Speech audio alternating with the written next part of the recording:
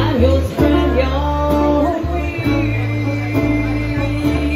wings and take to the sky.